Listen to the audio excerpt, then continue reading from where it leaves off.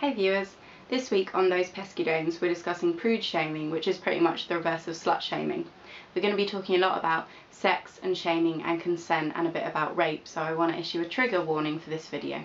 I'm going to show you a picture of my sign from the first London Slut Walk because it pretty much sums up the incredibly complex social narrative about women and sexuality that we ladies are supposed to be able to navigate.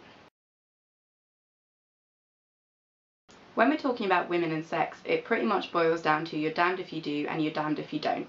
If you have sex or you like sex, then you're a dirty slut.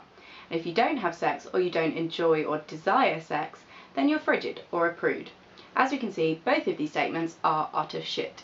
We've already done a week on slut shaming and you can watch those videos here. Um, so this week we're examining the second of those statements, which is prude shaming. In our society, we really put sex on a pedestal. Sex is meant to be, you know, the pinnacle of life, the ultimate enjoyment, something that we should all constantly be trying to get. Um, like, what? Sex can be a fun activity, yeah. The way skydiving can be a fun activity, and you can go through life having a ball and never go skydiving once. And the same applies to sex. This is also a really damaging message because this message isn't about having enjoyable and consensual sex at a time that is right for both you and your partner. Pushing this message means that people can end up doing things that they don't want to do with people that they don't want to do it with. This is really tied up with the idea that not having sex or not having had sex is embarrassing. A lot of people I know talk about not wanting to be virgins. Trust me, we'll get to the concept of virginity in a minute. Once they get to uni. Um, and I think this is because once you get past your teens, being a virgin is seen to be like really uncool or like really embarrassing. And I think this is really tied up with fears that like partners in the future might laugh at you for being inexperienced. Let me tell you something right now that having sex does not make you experienced, okay? Everyone likes different things sexually, like there is a vast, wonderful and beautiful array of things that people like to do in bed and not everyone likes the same thing. Um, having sex with like X number of people does not make you magically understand what an individual person likes.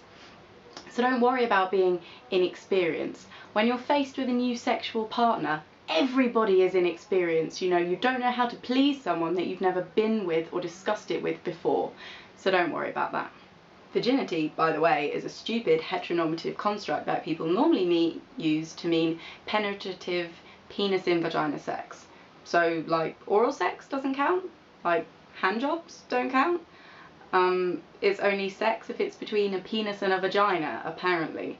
So, like, are non heterosexual people virgins for their entire life?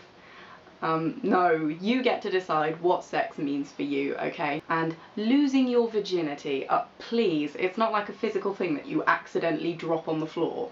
I think when we're talking about prude shaming as well, it's like really essential to recognise the asexual and demisexual community because they face this kind of shit all the time.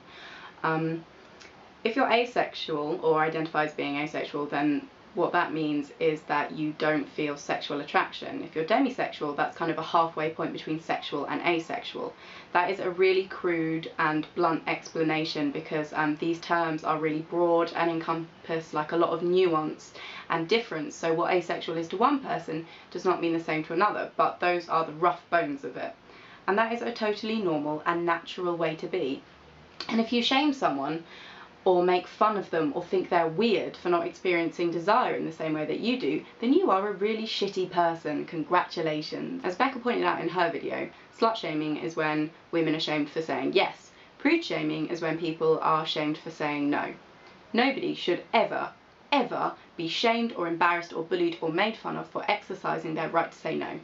Guys often get laughed at um, if they're like a virgin or something. So films like The 40 Year Old Virgin, where the entire comic setup is based around a man's so-called friends bullying him, bullying him for not having had sex yet. Lol. Girls, however, are the primary people to be targeted by words and insults like prude or frigid. Um, like slut shaming, this doesn't even relate to sexual activity. Girls can get called frigid for wearing clothes that aren't deemed revealing enough. Um, but the most dangerous thing about prude shaming, and seriously, this is really dangerous, and you shouldn't underestimate like the potential for harm it has, um, is the way that prude shaming undermines sex and is really closely linked to rape. If that sounds like confusing or weird or like a really big leap to you, let me illustrate this with a little and triggering story. You have a girlfriend. You've been going out with your girlfriend for like a couple of months now, but you've yet to have sex. And your friends know that you've yet to have sex, and you know they're taking the piss and teasing you, and you're getting really frustrated about the situation. And rather than tell your so called buddies to fuck off, you decide that it's about time your girlfriend slept with you. I mean, you've been going out ages, right? And anyway, you bring this up with her, and she tells you that she doesn't want to have sex. Maybe she tells you that she's not ready to have sex with you yet. Maybe she says sex is something she only wants to do when she's in love or when she's married, or maybe she just tells you she just she just doesn't want to. Um, so your feelings are hurt because you just got told that you're not as overpoweringly irresistible as you thought you were. So you call her frigid and you tell her she's uptight and you tell her that she's stuck up and she gets upset because she thinks that you're going to break up with her and you've just said these really hurtful cruel things to her. And she says yeah you're okay. No you're you're right you're right. It's fine. It's okay. I don't care. Let's have sex. Do you really think that she has truly consented freely and under no pressure to have sex with you or do you think that you have bullied her and coerced her and manipulated her into doing something she didn't really want to do? Because that is rape, and that is the true danger of prude shaming that people use it to rape other people. As a kind of a side note and really related to the topic of consent, Holly's awesome video about prude shaming in poly communities really got me thinking about I've seen a lot of prude shaming in so-called sex positive like kink positive circles. Um, so I've seen people say things like, oh, but if your partner really wants to do that, then you should be a good partner and you should do it or you should try it to make them happy. And sometimes it feels like we're all in a competition to be the most activist and prove like prove to each other that the, we're the most like sexually liberated. And like no, when it comes to sex, if you don't want to do something, there is literally no reason on earth for you to do that. You don't have to. The end. The absolute end of that discussion. You don't want to do it, you ain't fucking doing it. It's not happening. Stop it. Obviously, my view of prude shaming is really cis-centric because that's been my dominant experience of what prude shaming has been. But as always, and especially this week, I am really interested to hear all of your experiences with prude shaming. Have you ever been prude shamed? Um, have you ever seen it happen to other people? Like, what have you felt about that? Have you seen it? How do you think it operates and works? Um, so comment it out, people, and thanks for watching.